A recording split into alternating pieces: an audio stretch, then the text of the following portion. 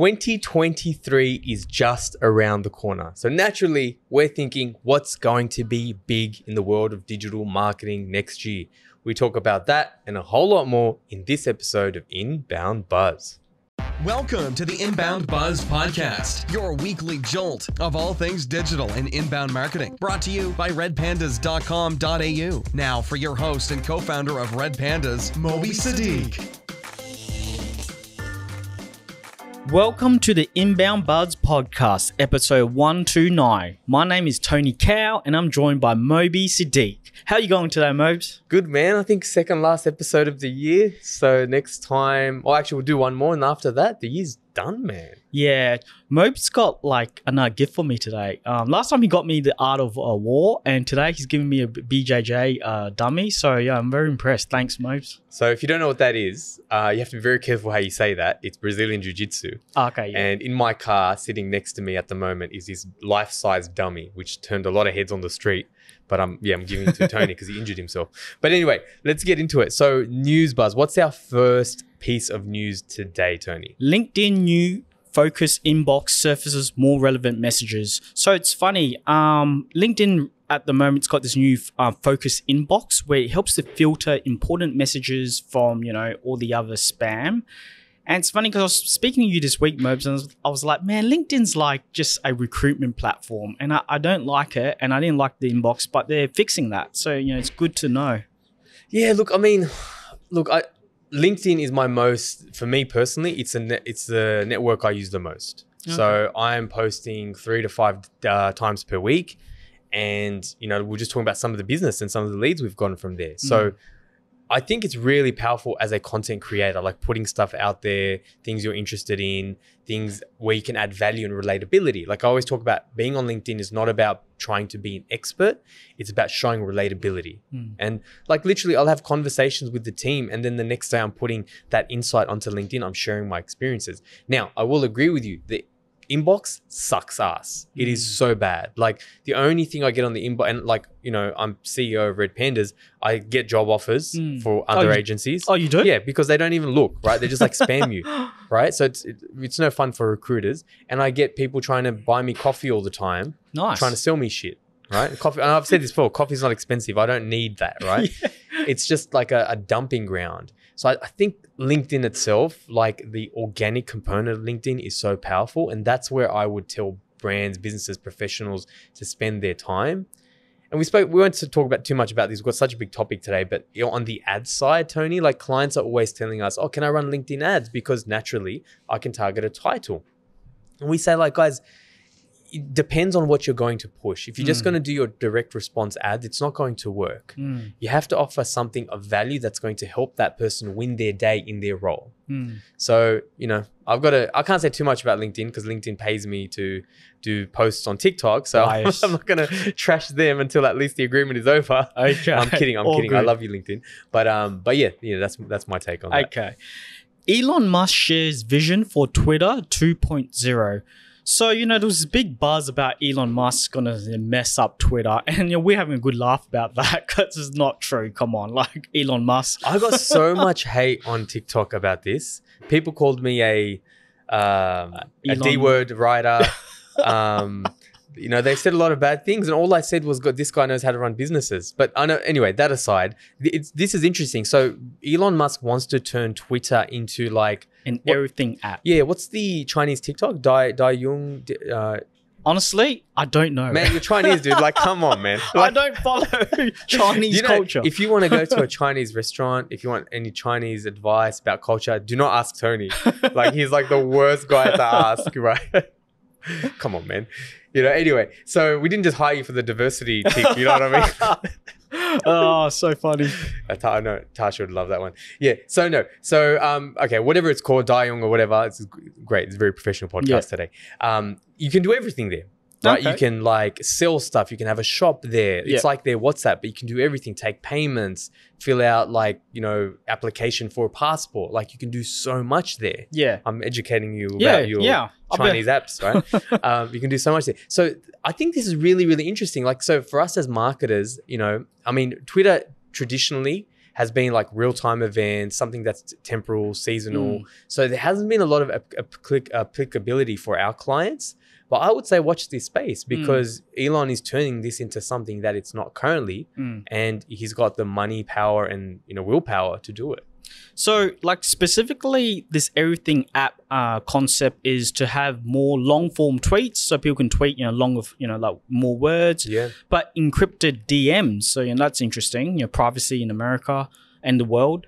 Um, users to user payment, like you said, those features. But specifically, this is what I love. Um, advertising. They want to start, you know, allowing video advertising, better entertainment. So I think that's interesting. That'll be good. There's a lot, you know, that will grow, and hopefully we can get onto that. But also, uh, lucky last, redo their search bar. They want to improve their um, search power. So, you know, I wonder what's that about later. We'll keep an eye on it. Um, I, I like this uh, next buzz. Why Google search is getting worse, and there's this debate lately, you know, with people, you know, using Google saying people um, reckon Google search is getting worse, and there's this ex Google employee that says um, that want to counter it, and she said, no, the web is getting worse, and what that means is, um, you know, because what's happening lately, uh, Merbs, is you know we're searching for stuff and we're not getting the results we want on Google sometimes right? But I think it's due to the amount of bad content out there and, you know, the regulations on the internet. I think, honestly, I think um, yes and no. There's a lot of crap out there in the world, on internet world, but also I think Google does do its job pretty well. So you're talking about this Marissa Mayer woman, ex-Googler, talking Yeah. about it's not that Google search is getting worse, the world is getting worse. Like, isn't that a little bit of a cop out though, Tony? Yeah. You know what I mean? It's, it's like it's not me, it's you type of thing. I think I think part of it is that our expectations of search are changed now. Hmm. Right? We're talking about this before. Like, you know, my wife wanted to figure out how to clean the fan blades without getting the dust on us. So she Mm. went on TikTok and she realized you use the pillowcase. And Yeah. That's the way to do it. Um, if I'm searching for stuff on work, I'm searching on YouTube, right? If I'm searching for some content, I'm searching on Google. And even Google's trying to get more dynamic. And that's why you see shorts and long form, short form in your results now. Hmm.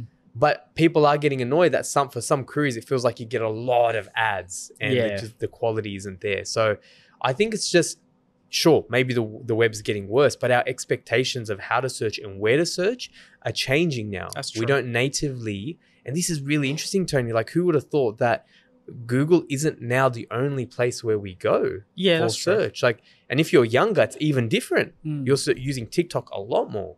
So yeah. And one of the searches, um, they said, my search results just don't seem as useful. And I want to counter that but back by saying, like, what we've been preaching about, Mobes, it's like you got to produce better content with your business. You know what I mean? You got to get better quality content that's engaging and it's useful, it's, um, you know, educational. Because, you know, if you don't get that right, people are not going to be going to your website, you're not going to rank, you know, so it's important to get that good content out there, right? Hundred percent. Okay, and moving on, lucky last, YouTube shares top creator clips and ads. So this is interesting. Um, looking at the top, um, you know, 2022, um, you know, YouTube channels and ads, we can see that there was a whole list. And Mr. Beast, you know, that guy, he is dominating the YouTube world. He absolutely just, you know, does fantastic content, challenging content. I, I I've seen it. It's interesting, but I don't have time to watch it. like, I mean, he leads with content. You know, his whole thing is like, let me spend $10 million to create this house made of jelly and whatever because he knows he's going to be able to build his brand. Like, he's the metaphor of someone who's doubled down on content so much mm, because he knows that attention is currency. mm, And, you know, that's why all these, you know, like it used to be, hey, just these influencers doing brand deals, but they're starting businesses now. He's got Beast Bar, he's got his burger business. Beast Burgers, yeah. Beast Burgers, you know, so like it, it's quite clever. Now, I'm not saying we should all do that type of stuff, but recognizing attention is currency is definitely a lesson here. That's Mm. for sure. I mean, what, what what was interesting though in that same article you shared with me, Tony, it has like the brands, right? Mm. So Mr. Beast is far far ways away, but then it had some brands. It had like as the, the top global ads came from Amazon, number one, Telecom Egypt, Egypt, Clash of Can- uh, Clans, and I hate getting those bloody gaming Yeah, ads. yeah. Apple, so on and so forth. Netflix is there, Squarespace is there as well. So th- these ads are done in a high production, high quality way. And the other other key thing, which we're going to talk about later, Tony, I know you're a big fan of this, is they use a lot of creative. Yeah. So that you know, and and there were specifically uh paid ads you know on youtube and they were kind of like very super bowl styles that let's be honest they're fortune 500 companies they got big budgets to blow and spend and get celebrity led you know like you know videos 95 or even so 98% of the world in businesses don't actually have that budget so they can't throw money against the wall. Yeah. So all those ad TV ad dollars have gone there. Yeah. Okay, and that wraps it up for news uh, news buzz um, for episode one to nine. Moving on, next section featured buzz digital marketing trends for 2023. Now this gets me excited. So I have to start with snackable media becoming mainstream. I got to start with that. Anyone who's listened to more than two episodes knows that I talk about a lot about TikTok. And it's not necessarily that I'm impressed with TikTok because it doesn't matter. Like TikTok will be, you know, who knows if it's going to be around in five, six years. It doesn't matter. The point is they are such a good representation of what social media is now. So the macro shift, Tony, has been we've moved from the social graph to the interest graph. What does that mean, Mobes? So the social graph was it was more about the people you're connected with, your friends, your family, who you're socially connected with. Okay. The interest graph is about what you're interested with, Mm. what you resonate with. You know, content that is interesting to you, peer groups, clubs, societies, topics, that type of thing. So for example, like with my TikTok, I didn't I didn't realize this what I was doing, but I was actually focusing on the interest graph. I was just focusing on digital marketing news, tips, tricks, mm. anyone who's interested in that space. And that's mm. why TikTok works so well. And it's great for brand new creators. People think they it's it's too late for them to catch up because the interest graph where it's at. If you can find an interest in a niche and do that better than everyone else, the interest graph is going to reward you. Now again, I don't give a damn about TikTok, but everyone is falling in line. YouTube Shorts as well. And a few episodes ago, we spoke about the fact that YouTube Shorts is going to be monetizing, has a monetization uh, plan where they give creators a big chunk of that money back. Yeah, amazing. Now, why do we care? If you're a creator, great, In- interesting, you need to be onto that platform. But as a brand, the attention goes where we said attention is currency. It goes where the creators are right? The, the creators who actually have that affinity with that interest graph. So it, if it's not important today, it's going to be a lot more important moving into future. So snackable media going mainstream, that's number one on my list. And the fact that we can use TikTok as a search engine now, uh, LinkedIn as a micro blogging platform, Mm. it's really important. So th- there's so many ways of just producing content, right? Shouldn't be no excuse and stuff. It's so, it's pretty easy now as well. You know, they've given us the platforms. Social media. What about social media, uh, Mo? I mean, outside of that, I think the the the last thing I'll say about social media is that's where brands are being built. So if you want to build a brand, you know, what did we used to do to build brands? A lot above the line media, TV ads, radio, whatever. Like there was, you know, especially bigger brands and even smaller brands will allocate some a budget to Mm. media or, or sorry, brand building.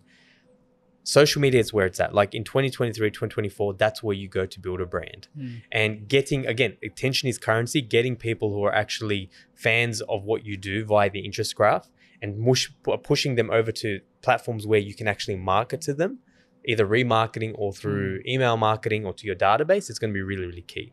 But um, i think really and this kind of ties to what i want you to talk about in the next one tony is creative. So like creative is definitely more important on social media as it used to be but i think that's a good segue to paid media Absolutely. And we were speaking about this, and you made a good point about uh, Gary Vee. What did he say? Brand, too long brands were mailing He their ads. for too long, brands have been mailing it in in terms of the creative.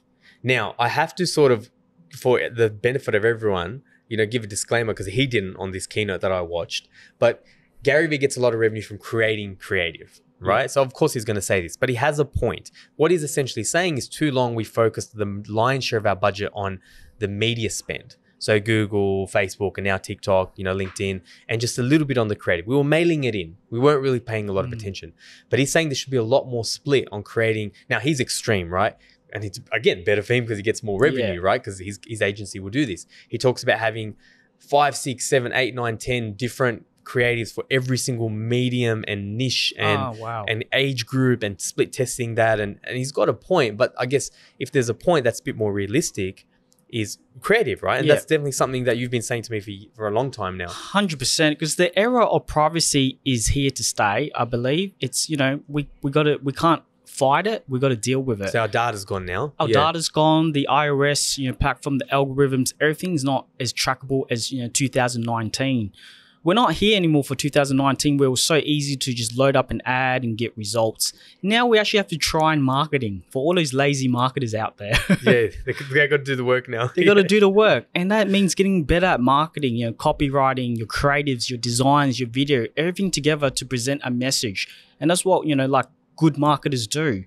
Too long, people would jump on Google, uh, Google, Facebook ads, and just let the machines do the work.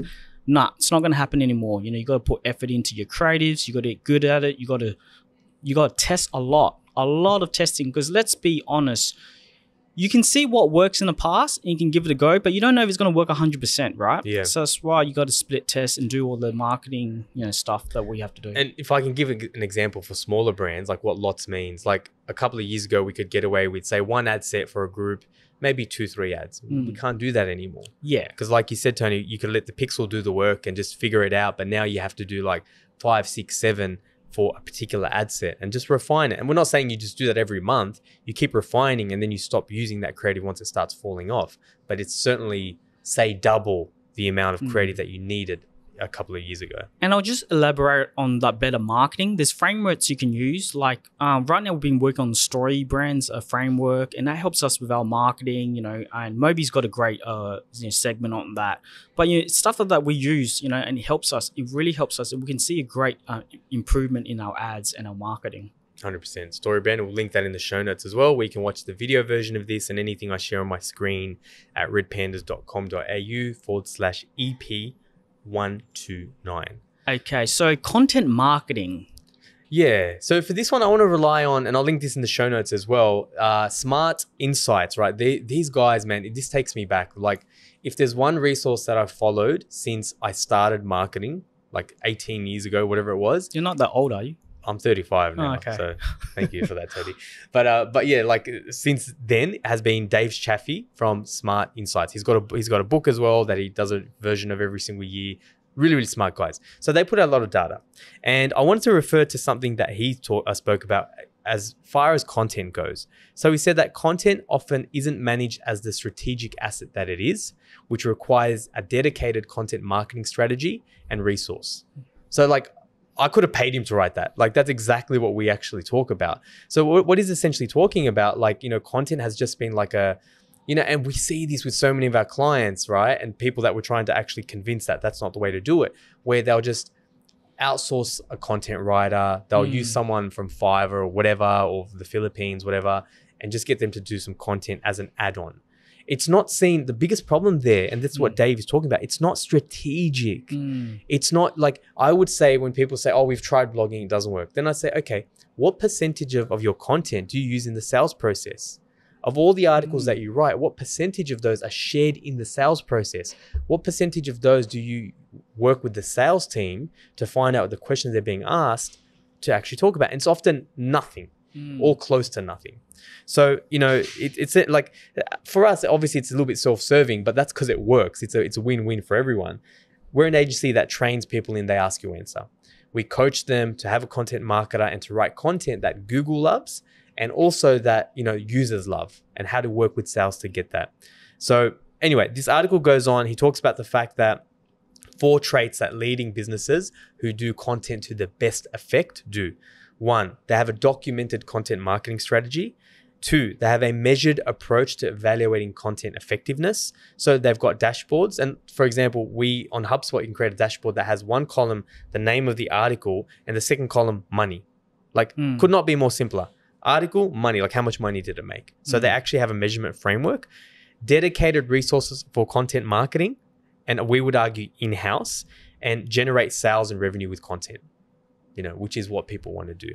So, and, and of course, you know, recently the helpful content, uh, the Mm. helpful content um, algorithm update came out from Google, which Yeah. reinforces that answering people's questions, which Yeah. is what they ask you answer is. So, in other words, have a full, in, you know, if we're talking about next year, reallocating budget, divesting budget from other areas, I'd say is have a full uh, time in-house content marketer, publish three articles per week, and have them trained in content that Google loves and that the sales team can actually use and leverage and make money from.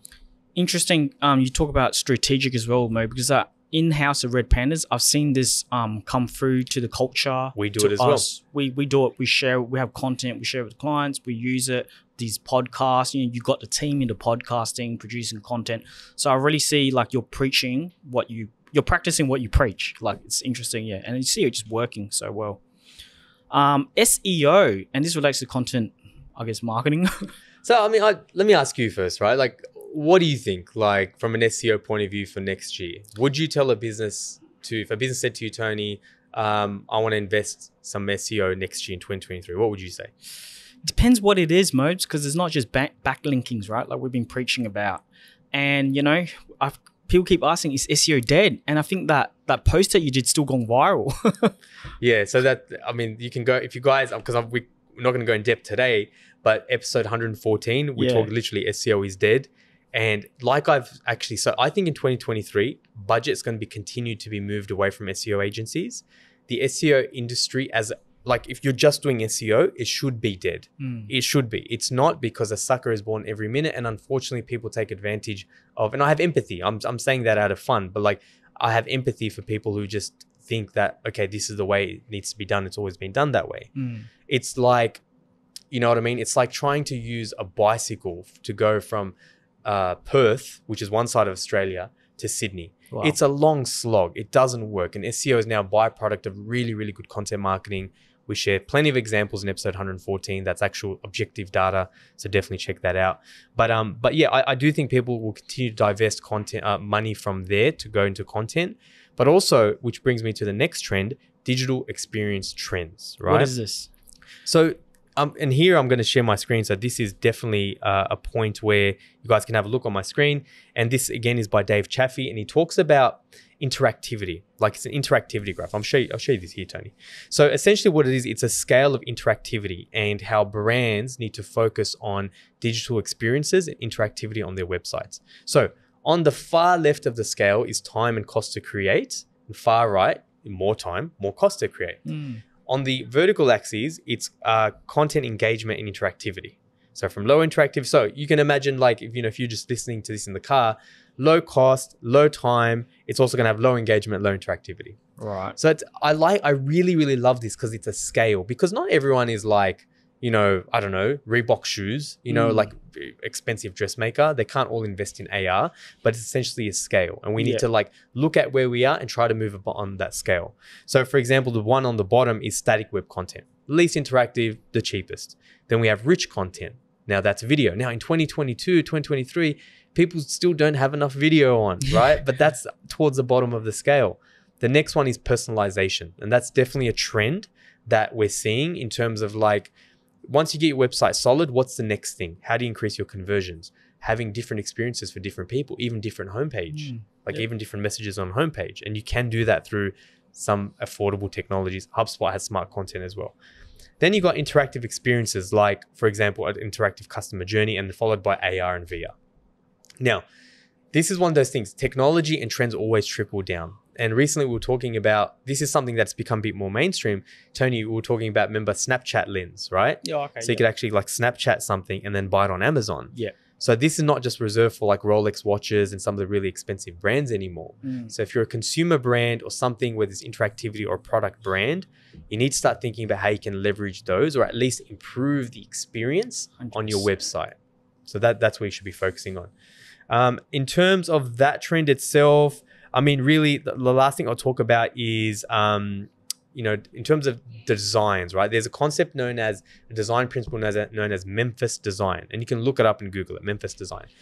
What it essentially is, it's like big, bold, in your face. I'm going to try to share my screen. Yes, I'll, I'll bring my screen back up here. So see this, Tony, like right. you know that kind of big bold typeface flat images memphis design is like a little bit of sort of like feels like kind of like the 70s like they've got Right. these you know um and I don't know the word for it, but like these shapes and images and geometry. Yeah, vectors and stuff. Yeah, vectors and things like that. So it's almost kind of going back to mate- like the Google material design uh, style. Interesting. But that is, I guess, a trend that we're seeing from a design point of view.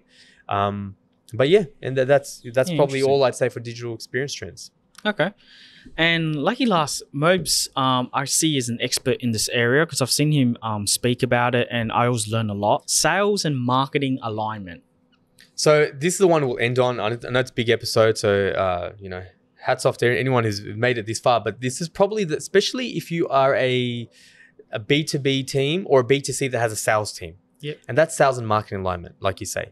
So you know, there's a study done by LinkedIn that shows 80% of marketers and sales uh, leaders believe that alignment between teams is essential to business growth. So 80% of marketing and sales leaders say alignment between marketing and sales is essential to growth. Great. Almost 90%.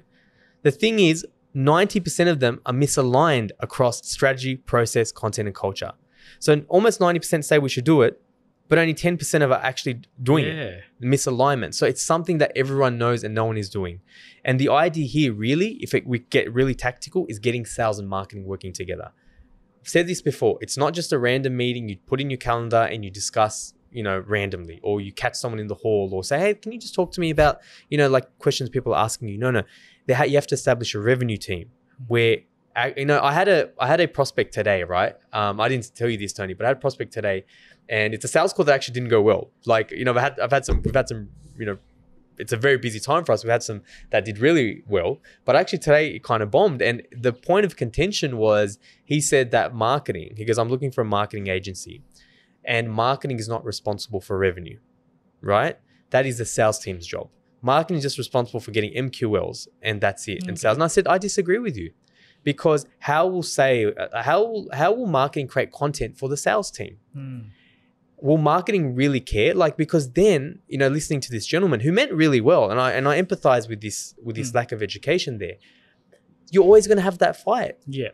where salespeople are like oh marketing's leads are so shit and then marketing's like well they don't do anything with our leads So true. you're misaligning the whole point of having marketing it's not about responsibility for sales that's still sales responsibility the marketing needs to have a seat on the revenue table they need to be across what's actually happening Hmm. the reason why we overinvest in marketing is because we know how important it is to the bottom line.